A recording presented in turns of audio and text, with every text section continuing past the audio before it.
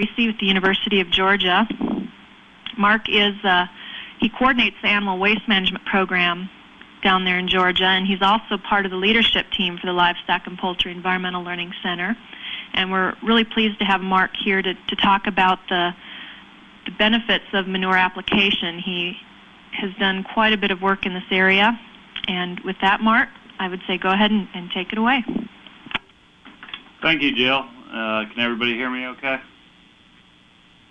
I'll assume that's a yes. Uh, this afternoon, I'd like to share with you all some information on land application of manure for beneficial reuse. We think this is uh, an important topic and added it to the webcast series for, for several reasons. Historically, animal manure was used as a fertilizer and a soil amendment. And prior to World War II, uh, it was a very important part of agriculture. With the advent of fertilizer and concentrations in animal production, uh, over the last few uh, decades, we've seen, seen in, in some circles manure use has, has changed somewhat and is, is now considered a waste and a liability to some.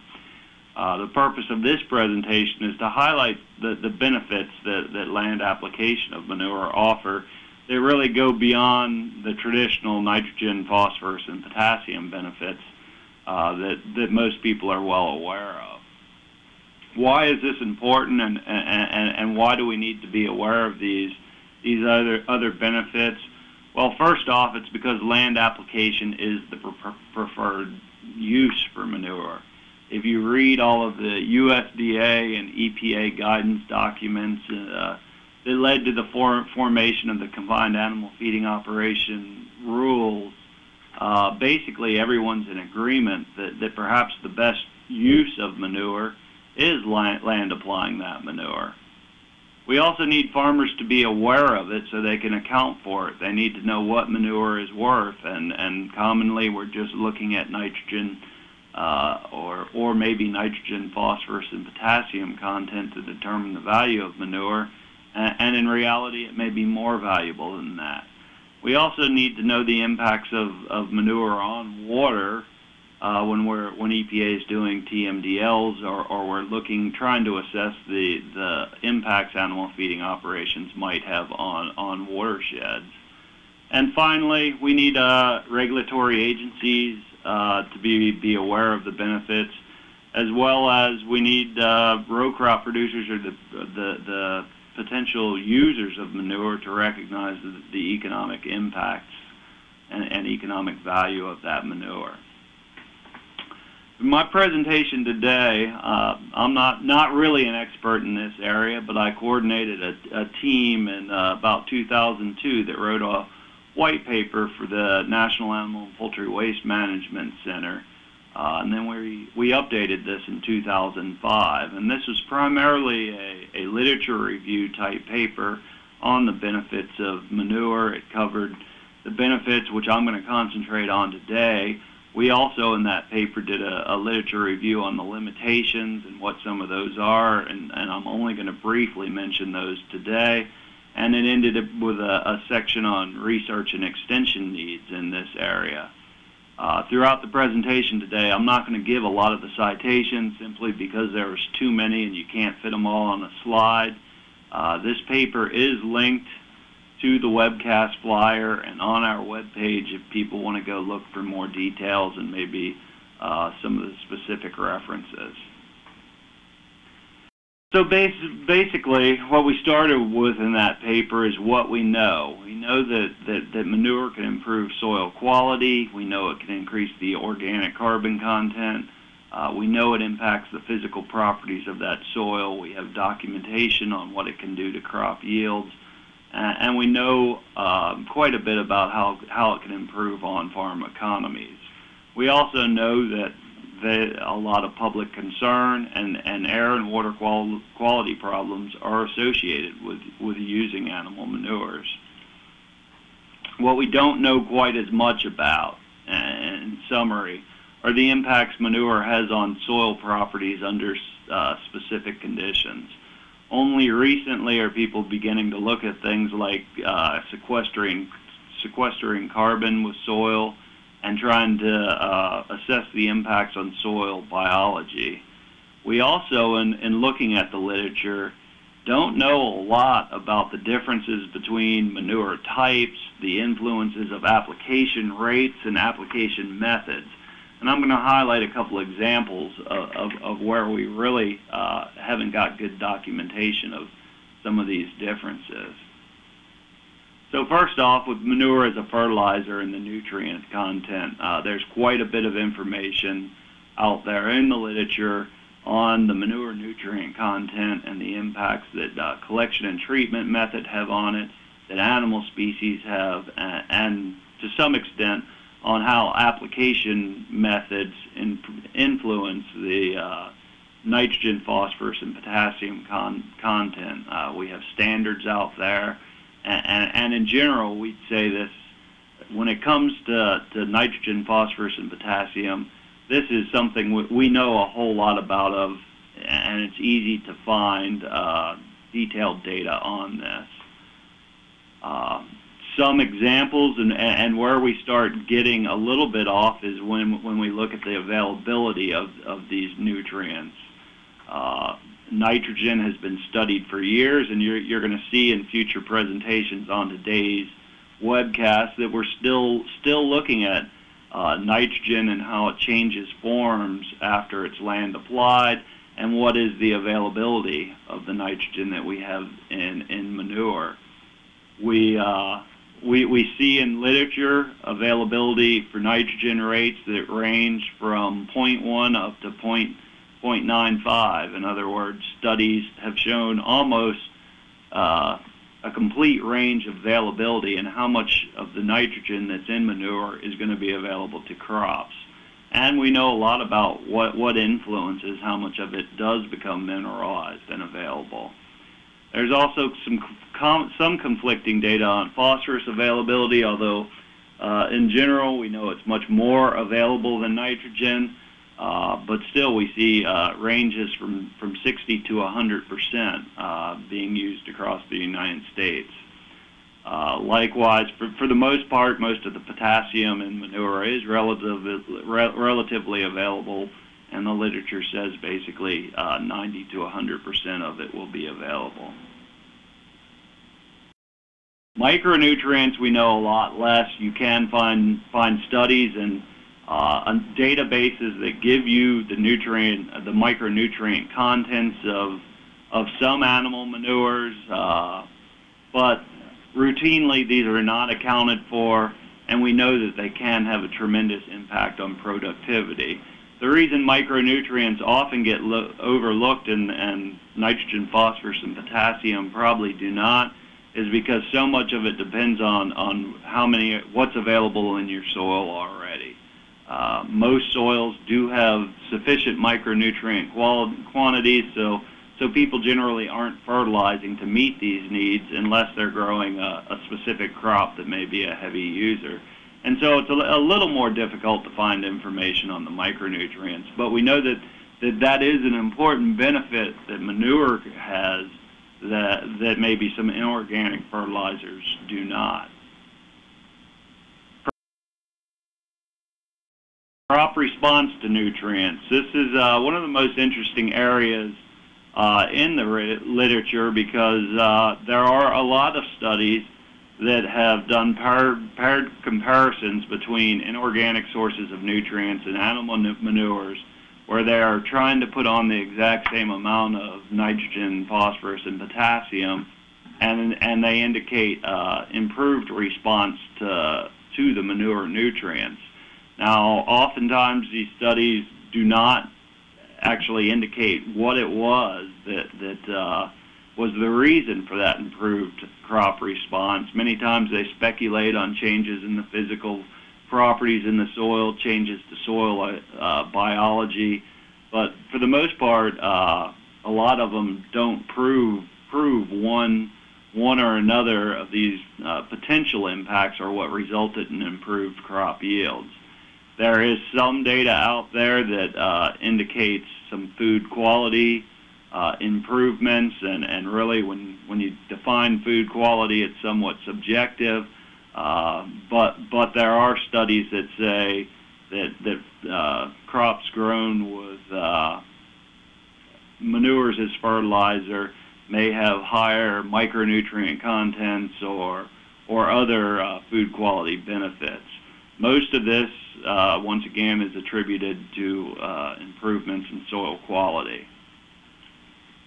When we look at some crop crop response and, and, the charts on this table were a study conducted down in Tifton that was, uh, I think, a three or four year study on, on a crop rotation, we can see that uh, using manure, in, in this case we're using poultry litter on cotton, millet, wheat, canola, and peanuts, and in most crops you can see with increases in, in the application rates you get improvements in yield up to a point, and then over application can can lead to actual decreases in yields. I would point out here uh, one of the crops at the top, the black line represents peanuts, which is a legume, and, and, and we we know that uh, poultry litter on peanuts can lead to problems with accumulations of of zinc. Uh, in the soil, and, and that may have a negative impact on peanut yields. And so basically, poultry litter on peanuts is not a, a, a recommended practice, at least in Georgia. Uh, so not all crops respond the same way, but uh, you know data such as this is important to have for all crops, and, and, and probably changes from location to location around the country. What are some other benefits uh, that manure may be may offer? Soil pH is an important one, and, and numerous studies have indicated the ability of manure to neutralize soil acidity, uh, especially when it comes to poultry litter. Uh, we there are studies that have documented that the continuous application of poultry litter will not not lead to uh, uh decreases in soil pH and really uh, you can get an economic benefit from not having to, to lime your soils when you're using poultry litter as as a fertilizer. Uh, there's a lot less known about uh, the impacts of uh, other animal manures or or dairy and swine waste, for example, have a lot less impact on soil pH, but poultry litter, uh, probably because of the high calcium content, uh, is one that's been documented to have that benefit. benefit. Soil organic matters, there's over, over 20 studies citing organic matter increases. Uh, manure has a lot of carbon in it, so if we add it to the soil, we should see increases in the, the, the soil uh, carbon content, and, and, the studies are pretty, uh, pretty uniformly stating that, that, that, we will increase soil organic matter over time using manures, and, and many of them say it's uh, that it may be more effective than, than simply plant using uh, plant residues. Data also support increases in water-stable aggregates, increases in infiltration, reductions in erosion, uh, reductions in soil compaction, and some have even documented decreased energy requirements for tillage when using uh, animal manures. Continuing with the benefits, uh, several studies have looked at cation exchange capacity or CEC, and we know that we can uh, increase the buffering capacities of soil using uh, animal manures we can improve water holding capabilities of soils. Uh, there, there's studies out of Colorado which suggest that uh, you can reduce your irrigation needs by using uh, animal manures and, building the water holding capabilities of the soil. Uh, there's not a lot of data on pesticide or, or herbicide degradation, but some studies have suggested that uh, probably, although the mechanism isn't confirmed, probably due to increases in soil biological activity, you may get you get more rapid uh, degradation of, of pesticides when soils are uh, fertilized using manures. A lot of these changes, like I've already said a few times, are, are linked, uh, loosely linked to soil biology changes. Uh, oftentimes, it's suggested that the increases in organic matter lead to more, more biological activity and a healthier soil. Uh, some studies have actually shown decreases in, in plant disease, uh, decreases in, in uh, nematode populations in the soil, or, or the, the negative the, the nematodes that influence uh, productivity.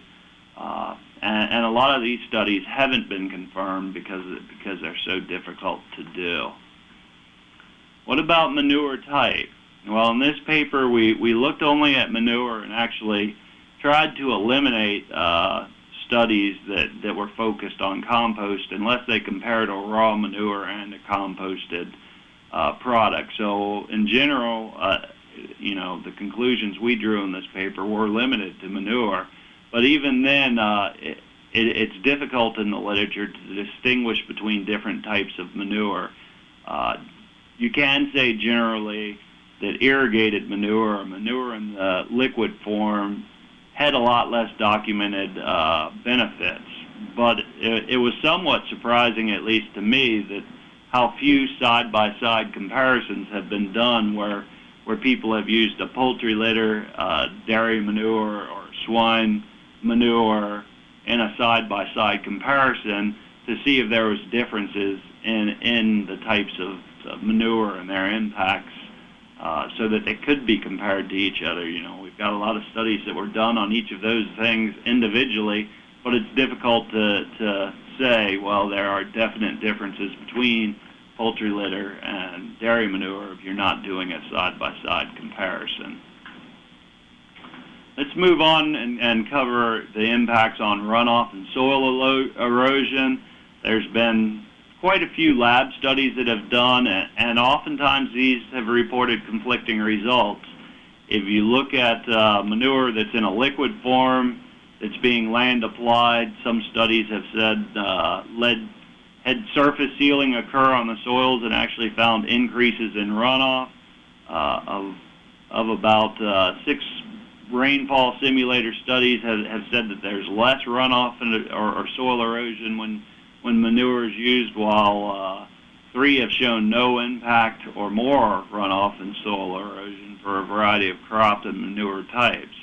Most of the studies that you find out there just report nutrient concentrations, and, and it's often difficult to find good data that, that are, are looking at the amounts of runoff or the amounts of soil erosion in these lab studies because nutrients been such a driving force, and that's what, what most people report. When we look at uh, plot data, there's a lot fewer studies. Uh, many of these, once again, do not report uh, runoff or erosion differences. Of the, the four studies we found, all of them reported equal or, or less runoff and, and equal or less soil erosion in response to manure or litter applications. The best set of data out there that we found was the universal soil loss equation data. Uh, way back in the Dust, Dust Bowl years when, when the Soil Conservation Service was initially started, uh, one of their first efforts was documenting soil erosion and looking for BMPs, and they established over 30 stations around the country and uh, hundreds and hundreds of plots where they investigated uh, soil erosion and runoff uh, under plot conditions. Over 100 plot years of data from 1930 to 1974 were found where they were using manure additions as a soil erosion control BMP. Slopes on these varied from 4 to 16 percent, a variety of soils, uh, some of them were in fallow condition and, and, and many different crops. Uh, and this data set, I think, is probably the most complete data set for looking at the impacts of manure on runoff and soil erosion. And what was very surprising to me was when we looked at this data, in every case where they put manure out there on the soils, they had less runoff and less soil loss. Uh, soil loss was 13 to 77 percent less uh, runoff was 1 to 68 percent less. Uh, there was a definite impact uh, with incorporation. Incorporation of the manure seemed to, to reduce runoff and soil loss more than just uh, applying it to the surface. And when we analyze that data statistically, the manure application rate explained the most variability. The more manure you applied, the, the greater your reductions in runoff and soil loss uh, were. And why is it? Why is runoff and soil erosion important? And, uh, and and why do we need a better understanding of this data? Well, a lot of the infiltration and erosion models we have out there don't account for manure additions outside of simply uh, making more nutrients available for runoff uh, and losses the, in the watershed. Uh, there are some models, USLE K values, and some other erodibility measures. There have been modification techniques developed to account for soil organic matter changes, and these could be indirectly used to account for manure additions. But, but there aren't a lot of models out there being used that, that act, actually uh, do these modifications. Uh, if we don't modify to account for the, the models to account for these reductions in, in runoff and soil loss, then, then the models that we're making decisions on could be uh, erroneously over predicting the amount of nutrients or, or soil that's being lost in these watersheds. Changing gears again real quickly, manure is a potential carbon sink. Uh, we know that carbon sequestration increases with manure application rate, decreases with temperature, and, and one of the difficult th things to get out of the data is, is this impact because studies that are in northern climates uh, may, may show much greater uh, potential for carbon sequestration than studies in the southeast, for example. And we also know that, that, that moisture content influences your, the ability of your soil to sequester carbon long term. Uh, when, we're, when we're looking at potential uh, carbon offsets or, or, global warming implications, methane and not, not nitrous oxide emissions are perhaps more important than carbon di dioxide. And we know that methane emissions can be reduced substantially in aerobic conditions as opposed to anaerobic conditions. And, and this leads to a conclusion that, that land application of these manures uh, is probably preferred uh, preferred method in, in, terms of reducing uh, methane emissions than perhaps lagoons, long-term lagoon storage. Uh, and finally, uh, studies that have looked at composted manure have indicated that the composting process itself leads to a greater potential to sequester more carbon.